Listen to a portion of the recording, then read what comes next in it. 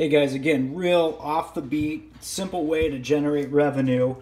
Here I took out uh, an article about Blakely Gas and Oil. And Blakely Gas and Oil is very popular in Arizona, but also nationwide. And this is just a simple article cut out. You can see just two pages, nothing extraordinary about it.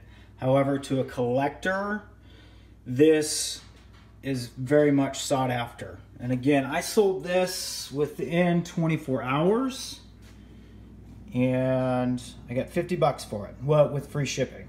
So, but again, no money into it. So, $50, probably about know, 42 bucks profit on this real simple newspaper piece.